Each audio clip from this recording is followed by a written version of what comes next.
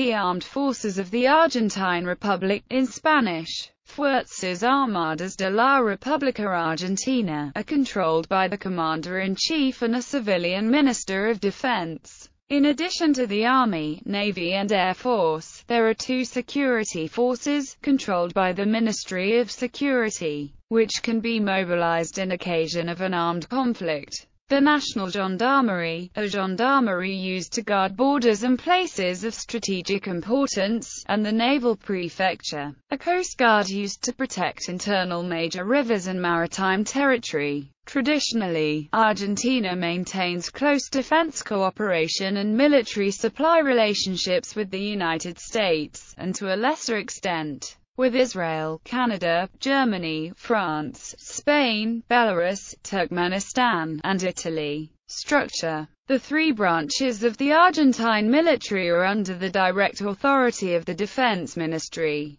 while the Argentine National Gendarmerie and the Argentine Naval Prefecture, as security forces, under the direct authority of the Ministry of Security. On June 12, 2006, President Nestor Kirchner brought into force the defense law, which had been passed in 1988 as a means to modernize the doctrine of the armed forces and define their role, though successive governments had failed to put it into effect. The law states that the armed forces will only be used against foreign aggression, and reduces the powers of the heads of the armed services centralizing whole operational and acquisitions decisions under the authority of the Armed Forces Joint General Staff emphasizing jointness. History The Argentine military, as has been the tendency in other Latin American countries, were considerably more influential in former times. Starting in 1930 and throughout the 20th century, democratic governments were more often than not interrupted by military coups.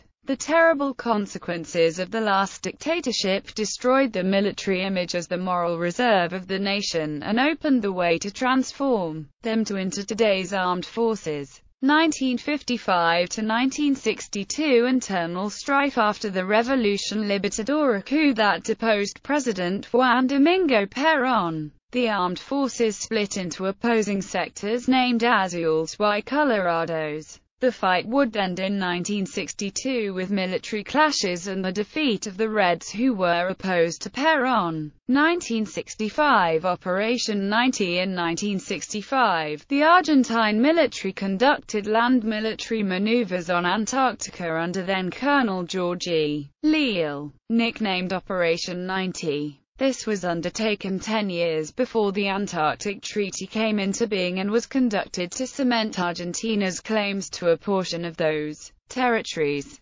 1975 Counterinsurgency In 1975 the armed forces started a massive operation in the Tucumán province to crush the ERP Guevarist guerrilla group, which attempted to create a revolutionary foco in this remote and mountainous province. In the northwest of Argentina, national reorganization process. The last military dictatorship, the national reorganization process, lasted from 1976 to 1983, as Isabel Perón was unable to defeat the terrorist organizations of Montoneros and ERP. The military took power during the 1976 Argentine coup d'état and exterminated the violent communist guerrillas by random detentions, torture or death. The current government of Cristina Fernández de Kirchner that sympathizes with Perón, antagonized the armed forces with the justification of the past junta and limits the powers of the current armed force to avoid state terrorism of the past.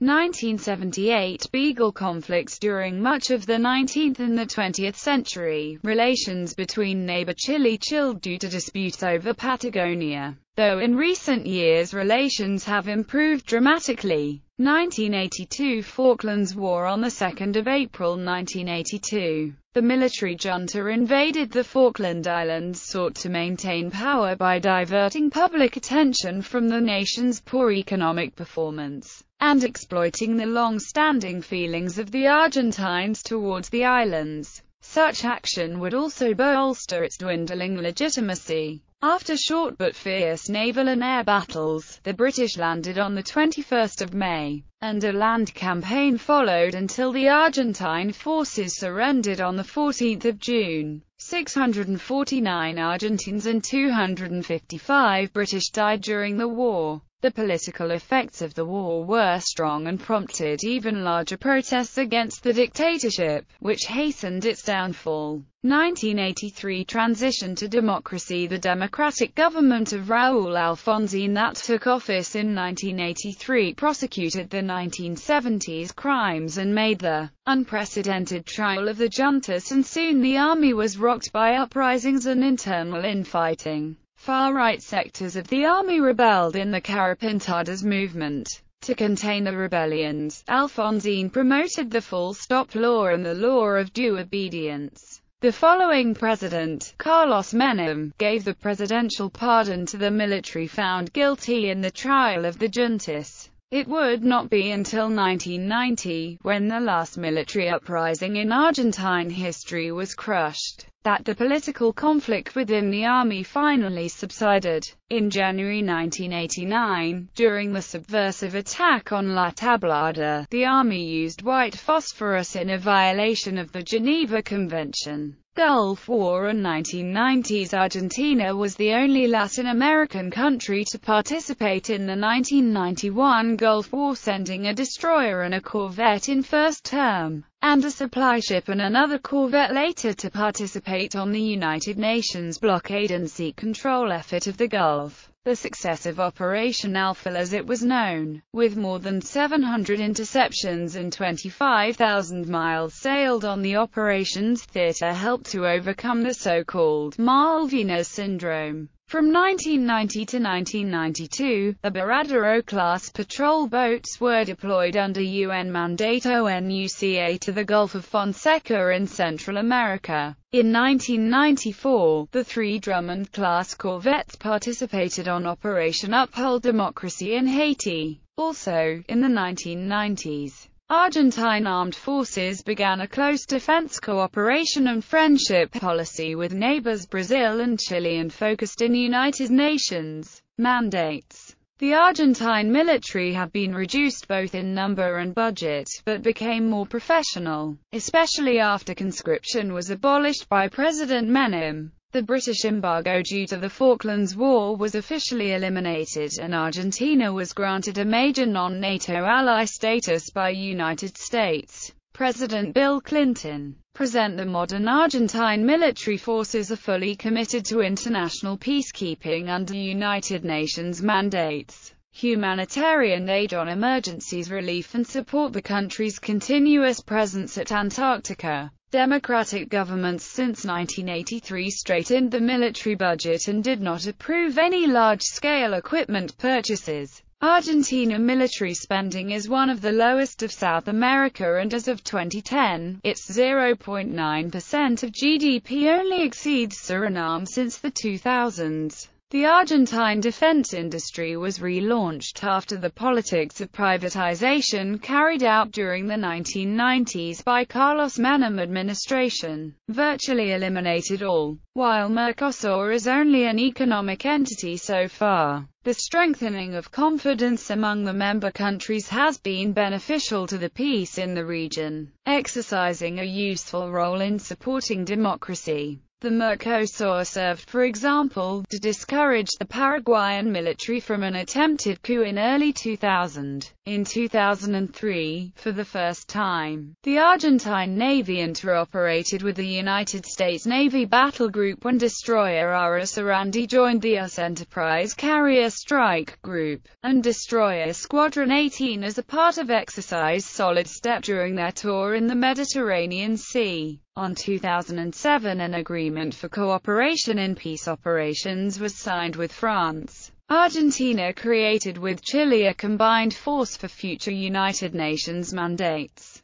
Named Cruz del Sur, the new force began assembly in 2008 with headquarters alternately on each country every year. On 2009, UNASUR, the South America Countries Union, created the CDS in order to promote cooperation and transparency between their armed forces. On 2011 they perform with Chile the PARACACH with support of the German Space Agency which provided satellite imagery international participation. Argentina was the only South American country to send warships and cargo planes in 1991 to the Gulf War under UN mandate and has remained involved in peacekeeping efforts in multiple locations like UNPROFOR in Croatia, Bosnia, Gulf of Fonseca, UNFICYP in Cyprus and MINUSTAH in Haiti. UNFICYP was also a precedent in the Latin American military as troops of Bolivia, Brazil, Chile, Paraguay, Peru and Uruguay are embedded in the Argentine contingent since 1999 and as of June 2006.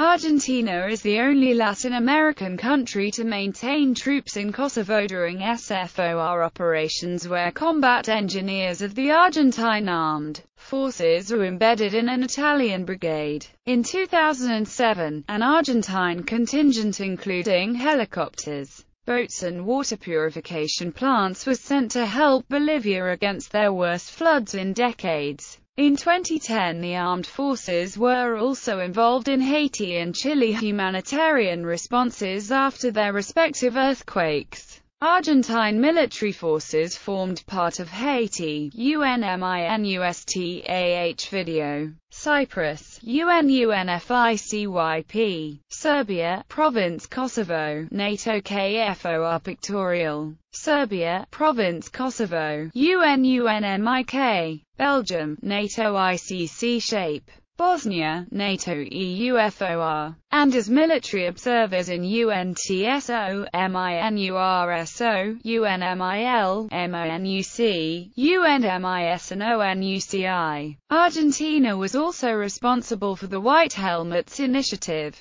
Gallery, Independence Day Army Parade, Junin, 2004. San Martin Camp for UNFICYP in Cyprus. Navy P-3 on joint operations in Panama, Brazilian carrier joint operations, research and development, development, CH-14 Aguilucho, Argentine Antarctic presence,